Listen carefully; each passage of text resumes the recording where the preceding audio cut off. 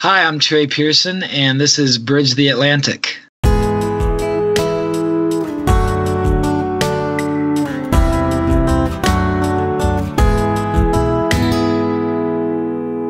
Welcome to Bridge Atlantic's interviews, where we get to know the people behind and in front of the creative industries. We're your hosts, music web designer Ross Barber Smith from Scotland, owner of Electric Kiwi, where we create awesome custom websites for bands, artists, and musicians. And I'm singer songwriter and multi instrumentalist Marcio Novelli from Canada, a man who wears many hats, literally and figuratively. When I'm not releasing music under my own name or my side project Midnight Soundtrack, I'm producing and mixing records for other artists or directing and editing music videos and music documentaries. So before we jump into the interview, we just want to let you know that we are on Patreon and you can support us from as little as a dollar per month.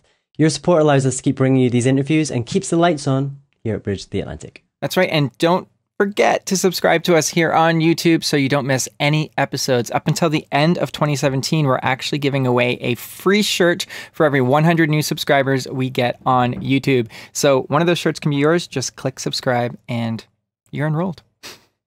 yeah. Make it sound like school. I know. Well, you have your chance to win. There we go. yeah, you have your chance to win. All right.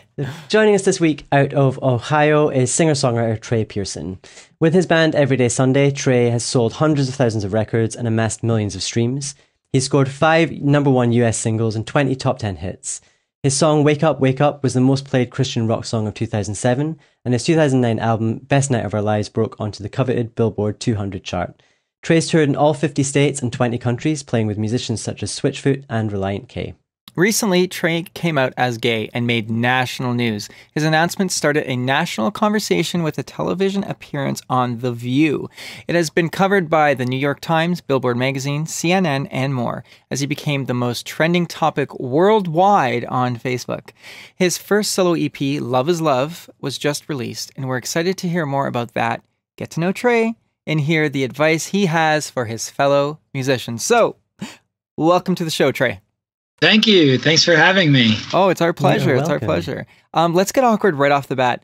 Tell us three things about yourself that everyone should know.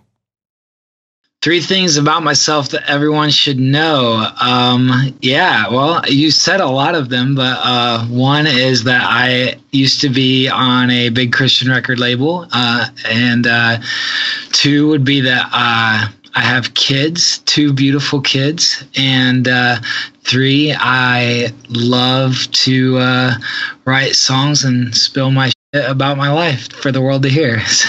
So there's three things for you. you uh, thank you. you um, so Trey, given the success that you had with Everyday Sunday, do you feel pressure to achieve similar success with your solo material?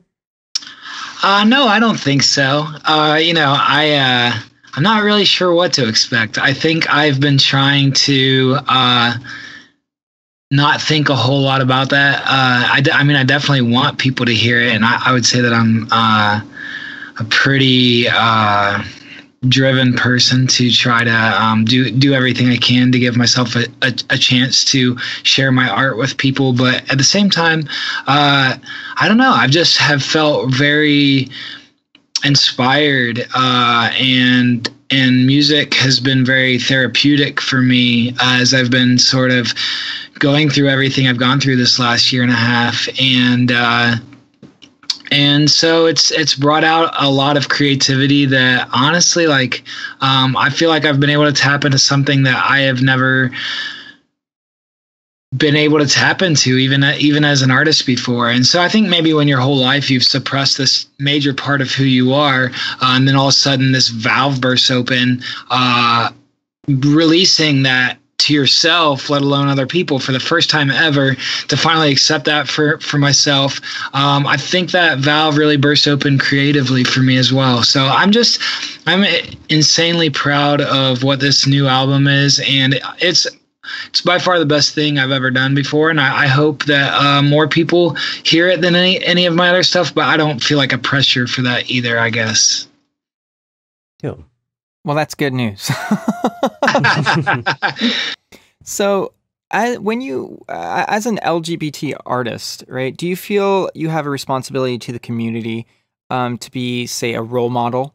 You know, particularly to Christians who are perhaps struggling with their sexuality because that can be a bit of a you know dichotomy and a bit of a, a struggle within you know being who you are, but also being in a particular religious group.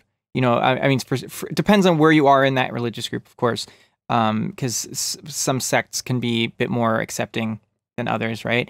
Um, so I know you created a Facebook group for this very reason. Yeah, I haven't felt any sort of pressure, uh, but I, I, don't know if you should feel a pressure. I have felt a passion uh, to do so, a, a passion to um, just thinking about uh, how difficult it was to accept myself growing up and realizing that by um,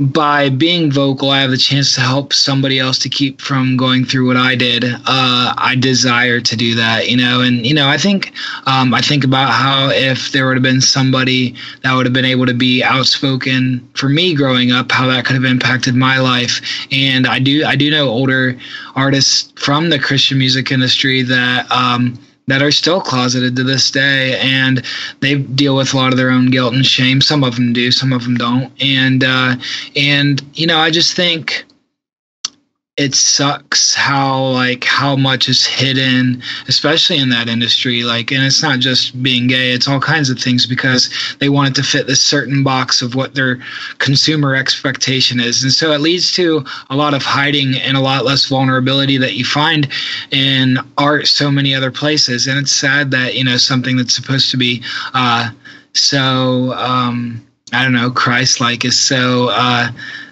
disingenuine and um, and there's such a lack of transparency. And when you came out um, as LGBT, you made national news. Yeah. Did you expect such a reaction? And um, and what has that what kind of impact has that media attention had on both you as an individual and as a musician? Yeah, uh, no, I didn't expect that at all. You know, I mean, I, I don't think anyone did. I think. Uh, I, I, had a, a, little bit of success in the Christian music world and um, had done decently well for myself. i I've been able to do music full time uh, my entire adult life, which is uh, an amazing thing to get to do. Uh, so I, I knew people would talk about it. And when you've played in, uh, you know, all over the country and all over the world and, and even lots of churches uh, all over the world, uh, if there's a place that gossip can spread, it's the church. and so, yeah, I knew people would talk about it, but um, I guess I, I, I, didn't realize it would be that talked about to, um, you know, look on Facebook and, you know, see that it was trending. And then all of a sudden by that night that the story had kind of broken, uh, that it was um, the number one trending topic in the world, and like right under me was Calvin Harris and Taylor Swift breaking up, and I was like, how am I more talked about than that? Like that's just kind of mind blowing. And then the next morning um, is actually when the View called, so it had already broken on the New York Times and Billboard magazine, and um, some of those places uh, before I'd actually gotten a call from the View to ask me to come on and talk talk about it. But yeah, so it's uh, I, it was very um, surprising, but also felt like a beautiful opportunity to take everything that had really hurt me for my entire life and to be able to use it to help other people and to see how many people I was connecting with and uh, to have a chance to hopefully make a difference in so many people's lives. And I really feel like I've gotten that opportunity and I'm continuing to get that opportunity uh, since my story came out last last summer. Um, I've just gotten thousands and thousands of messages from people and continue to do so every week, almost every day, sometimes multiple times a day. Uh, just people sharing their hearts back to me, and uh, it's really beautiful. And I I, I feel, uh, yeah, like I said, passionate about the opportunity to try to be able to help other people uh, that have gone through similar things or are going through similar things that I did. That's fantastic. Um, why don't we move into the record a little bit? Uh, which which definitely, like you said, uh, this whole, all of this has inspired this new record. Um, you know, it it just came out, which is exciting. Um, this is your solo record. What can people expect from it? Um, yeah, the, I th- I think the biggest thing is a few things. The album's called "Love Is Love," and which is such an anthemic uh, phrase, especially in the LGBTQ community. Um, I wanted to. There were so many things that I wanted to express in this in this album, and I also didn't want to make it. Uh, this being my first album, it's kind of a mini album. It's seven songs, but it's also um, one of these things that I really wanted to express uh, a huge range of the emotions that I've gone through.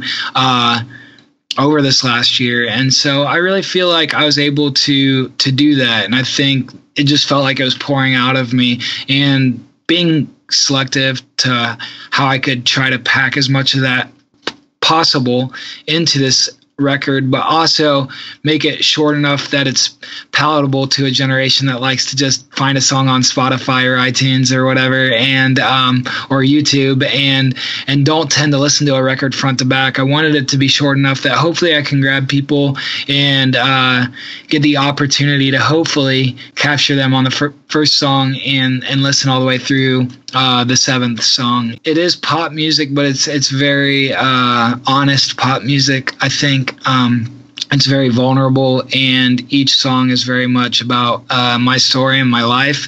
And uh, I wanted to do that in the way that uh, I I know how, which is the way that I've been influenced. And and and so I think you know another thing with this record is musically I've really been able to take stuff that has influenced me from growing up as a child to where I am today, and really been able to um, kind of bring all those influences into who I am. And that's been fun about starting over as a solo artist with my with my old band Everyday Sunday. Uh, you know, I started that band when I was 16 years old and signed a record deal after my first year of college. So I was very influenced by what I was influenced by at the time. Uh, you know, as a teenager and uh, young adult, and so um, to be able to grow up a little bit and to have the chance to kind of go back and take stuff that really influenced me more uh, growing up that made me lo- fall in love with music uh, as a kid starting over as a solo artist uh, allowing the chance for this sort of almost like fresh landscape or you know fresh palette to uh, to create something and have no preconceived expectations uh, has has been really fun as well. Awesome. awesome. Are you ready for 20 questions? 20 questions. Yes, let's do it. Coffee or tea? Coffee. Meat or veggies? Meat. Ashamedly. Twitter or Facebook? Twitter. Indie or major? Uh, major. Come on, says lightning round, lightning round. Yoga or yogurt? Uh, yogurt. the blacklist or 24? 24. Education or experience? Experience. Marvel or DC? DC. New York or Los Angeles? New York. Talent or attitude? attitude. Football or basketball? Basketball. Ryan Gosling or Ryan Reynolds? Woo, Ryan Gosling. I'm I'm with you on that one. The Office or Arrested Development? The Office. Batman or Superman? Batman. Star Wars or Star Trek? Star Wars. Michael Jackson or Michael Bolton? Michael Jackson. Taylor Swift or Taylor Lautner? Oh, Taylor Swift. Whale or kale? Whale or kale? That's Whale. everyone's reaction, yes. Whale. Bette Midler or the Riddler? The Riddler. And your final, most important, potentially heartbreaking question is Ross or Marcio? Oh, wow. I can't. I can't do no? it. You're not going to no, do it? I'm not going to do it. You passed the test. Well done. you really did. It's a test. What advice would you offer to LGBT artists who are worried about the impact coming out could have on their career? You know, what could they take from your experience? I would say knowing how much pain people go through to accept themselves um, and how important it is to be a voice to give someone a chance to accept themselves that your career pales in comparison to how important it is and how much of a chance you might have to save a life. Um, I don't know. I say, say, your career every time. Uh, like that. That that's great, and you be passionate about what you're passionate about. But if it's not genuine, if it's not sincere, and if it's not something that you would rather put something that matters more over it, then it doesn't then it doesn't matter in the first place. And looking back at your career, is there anything that you would do differently knowing what you know now? Yeah, of course. Uh gosh, you know, I think like when I first started touring, uh being a kid that ended up in a youth group, grew up in a conservative church, ended up in a youth group as a teenager, um, very impacted by what I was told was Christian music and kind of the whole Christian music machine and bubble. Uh, I think I went into this industry very wide eyed, believing that um, I could make a difference. Uh, in people's lives. And I, you know, hopefully I did in a way, but I also realized very quickly into my career how much stuff was hidden and happened behind closed doors and um and it took me a long time to realize how much that I was hiding even from myself and how much I couldn't accept myself for. And so, you know, if I could go back and accept who I was, uh, I would do it in a heartbeat, except for the fact that I, I do have two beautiful kids that I wouldn't trade for the world. So life happens. Um, but yeah, you know, any chance I could to uh, find freedom and give other people freedom, I desire to do that. That's beautiful. I think uh, for those tuning into this right now that might not be as familiar with you, could you tell us how do you reconcile your Christian beliefs and your your acceptance of yourself as a homosexual? How do, maybe maybe there are I think that's something that a lot of Christians um, and non Christians like myself can find um, conflicting or confusing. You know, so I'd really absolutely love to hear um, what you have to say on this topic. Yeah, I would I would say the quick answer is just that uh, I grew up in, in in evangelical Christian culture that almost worships the Bible more than they do the God that they supposedly believe in, and so there's this kind of Bible worship that happens, especially in Western Christianity. Uh, that uh, people think that being a Christian is having to believe that God wrote every word of the Bible. And if you don't believe that, then you can't be a Christian. But, like, you know, some kind of like displaced reality happens when you grow up in that culture because I read the Bible as a teenager six times, front to back. I memorized the book of James. I was in this thing called Bible Bowl where I would answer trivia questions, like weird stuff.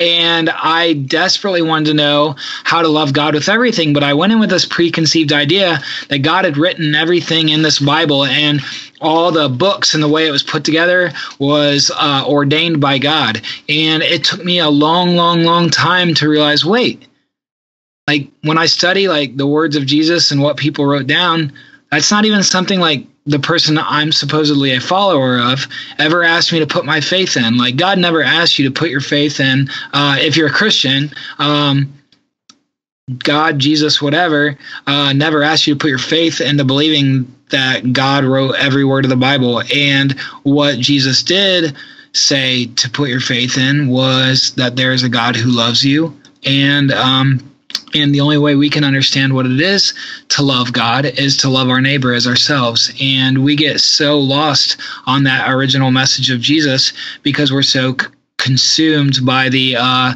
traditions and weird cultures that we've created as as humans. Yeah, you know, I think there are six references total in all the books of the Bible to uh, same-sex relationships. Um, some have to do with rape, some have to do with temple prostitution. None of them have to do with the idea of what it means to be in a committed relationship with another human being of the same sex. People didn't understand um, same sex relationships that way back then. It was always, oh, you're expected to marry the opposite sex and have a family. And if you were gay or bisexual or, or whatever, you were expected to do that behind closed doors. And I think that's the stuff that the Bible was speaking against. But I don't know that the people that wrote those things would have had the capacity in their time and culture to understand what we understand now. Just like I don't think they had the understand the capability to understand the idea that slavery didn't need to exist and that it was evil. And so there's all kinds of things that we've had to work through, uh, not only as Christians and what we believe about the Bible, whether it comes to slavery or women's rights or uh, same-sex relationships or, or whatever, but that the, these are things that we've had to work through as a as a humanity. And so to ask,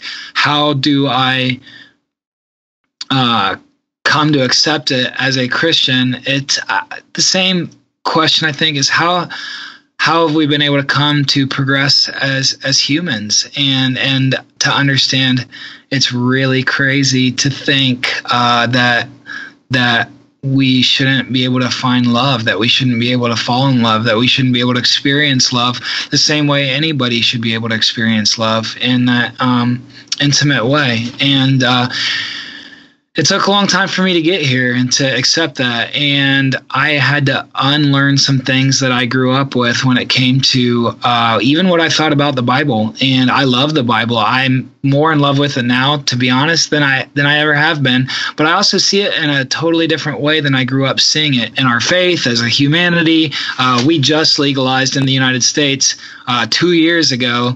We just legalized gay marriage nationwide, and so. Um, so it, we're not we're not at the end you know we're not at the finish line where this is some solved problem uh, even uh, christian or not. But i think we're making progress and it's changing quickly. And um, you know th- these are things that we've had to get through. I mean before it was interracial marriage that was a huge deal. Before that it was uh, jim crow. It was uh, all kinds of crazy things. And um, and yeah, so I think, you know, for me, it was just like coming to a place in the progression of my faith where I was able to see my faith in a whole new way. And I think it's given me a greater love for my faith, a greater understanding, uh, not only of my faith, but uh, of myself. And I have never felt so free. I've never been so happy. And I'm very thankful to be where I am now.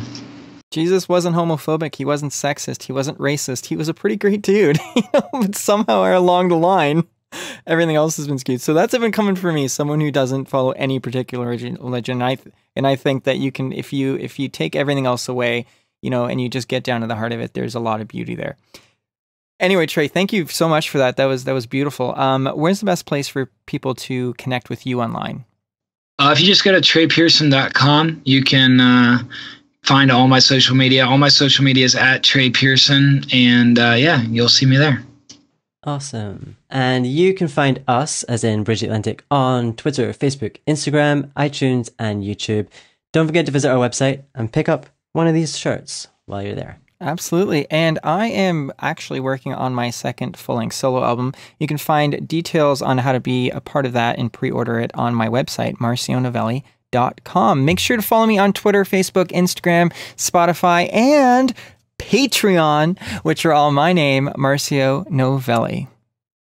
And a beautiful name it is. And I am working on websites for various artists at the moment. You can check out my work and my blog at electrickiwi.co.uk. Just imagine a kiwi bird being electrified or maybe not you, Marcio, you're vegan. You can find me on Twitter and Instagram as Electric Kiwi and on Facebook, Electric Kiwi Design. I just hate myself a little bit for saying that. this episode was brought to you by 30 Roses, a virtual assistant and consultant to musicians and other creatives, as well as entrepreneur, music entrepreneur HQ and Social Surge. All links are in the show notes in the description, so please check them out because they do what, Ross? They keep the show alive. and if you would like to sponsor the show, visit patreon.com slash bridge the Atlantic. We have recently updated our rewards, which now include sponsorship at the start of our interviews, as well as an opportunity for you to co-host an episode. Make sure to subscribe on YouTube and iTunes so you don't miss any episodes, and leave us a comment and let us know what you think of the show. Trey, this was a true pleasure. Thank you so much for coming on the show. We enjoyed chatting with you. Absolutely glad we could finally make it happen.